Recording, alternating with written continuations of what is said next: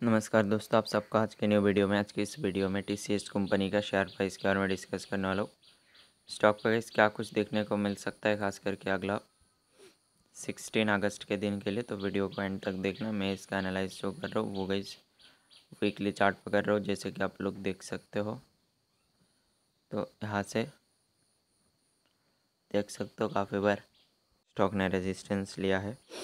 अब अगर इसका वीकली चार्ट पे देखा जाए, सबसे पहला जो काफ़ी स्ट्रॉन्ग रेजिस्टेंस फॉलो कर सकते हो, वो है।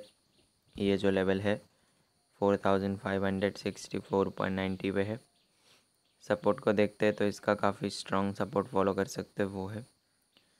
Four thousand four hundred sixteen point ten पे है, काफ़ी स्ट्रॉन्ग पहला सपोर्ट इसका पहला सपोर्ट का ब्रेकडाउन आता है, अगला फॉलो कर सकते हो, वो है।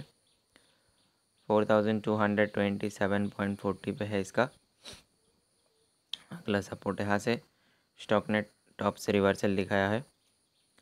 Stock S T car eighty five पे चल रहा है और अगर यहाँ पे फोर्टीन फिफ्टी और टू हंड्रेड मूविंग एवरेज को देखा जाए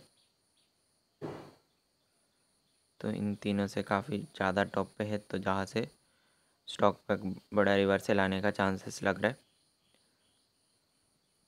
आप लोग सारे लेवल पे फॉलो कर सकते हो, मुझसे कांटेक्ट करना है तो अबाउट पे कांटेक्ट मिल जाएगा।